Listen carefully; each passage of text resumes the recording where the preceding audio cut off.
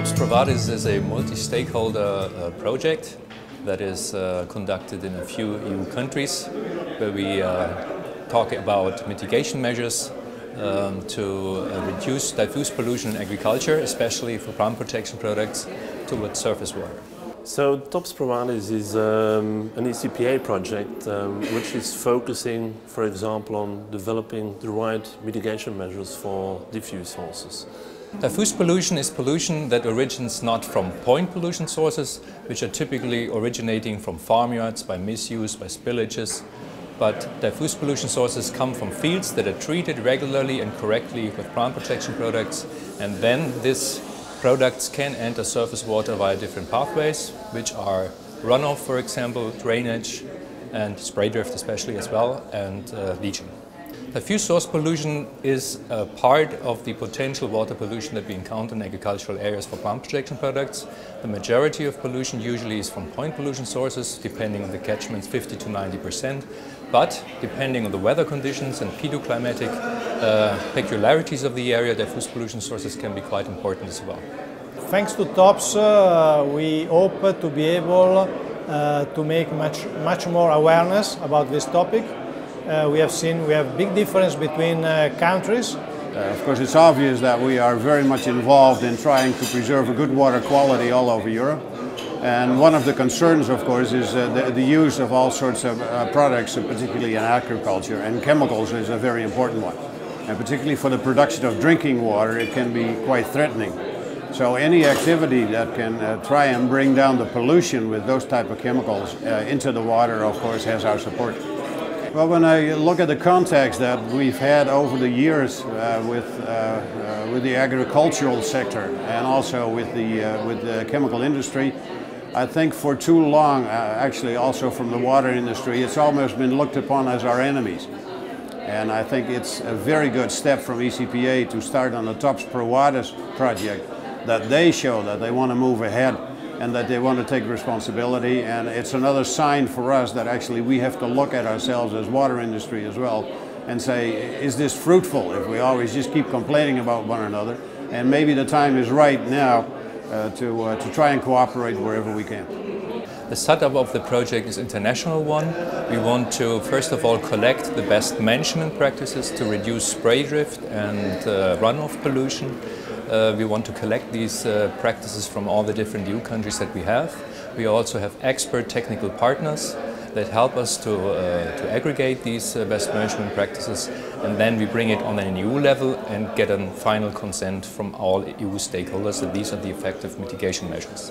And this is then the basis for implementation in all of the EU countries and this will hopefully in the long run effectively reduce the food pollution from agriculture. What I think uh, makes it interesting is particularly also the exchange between all the different countries. Uh, it's obvious, of course, that circumstances all over Europe are different, that the experiences uh, are different, but actually sharing that may give us the best results. Yeah, the main stakeholders uh, that we have in this area are first the technical experts, that means research experts from state research universities, from uh, private uh, agricultural research uh, stations and so on. And the other big important group are farm advisors, which have the practical experience. And if we want to have uh, EU-wide accepted measures, we on the first time need to get the agreement from the technical scientific community, but at the same time we need to get the consent of the advisors who are responsible for the practical implementation of measures of farms.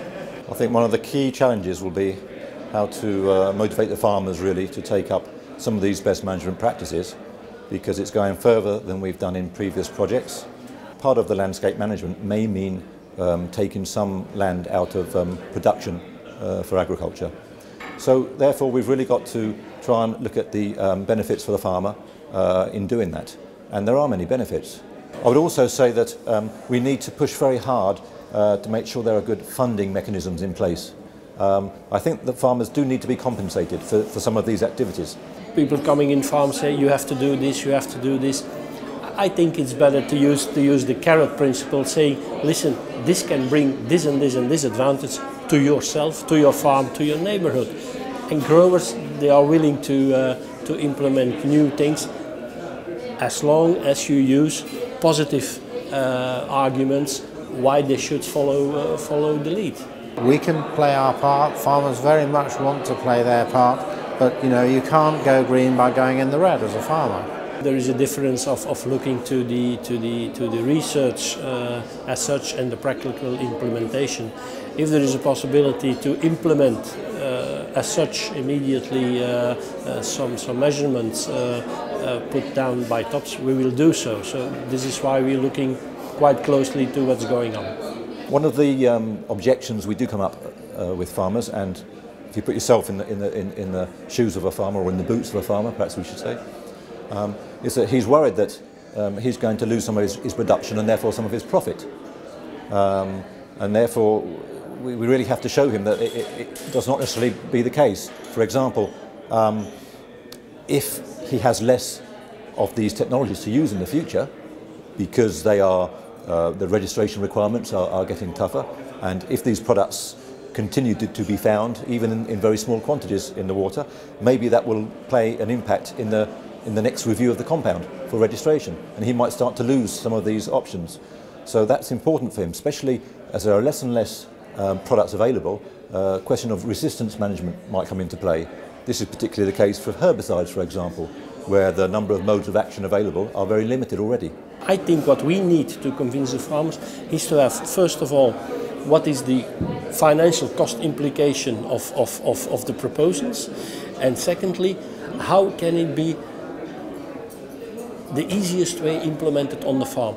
A kind of ranking of all the proposition, with the cost implications as such, but also, as I said before, the benefits which they can bring to the farm. It could be that the most expensive brings the most benefit to the farmer. So, as an investment, it will, it will be considered. Farmers can balance their application. They need to get their application right to get the efficacy of the products.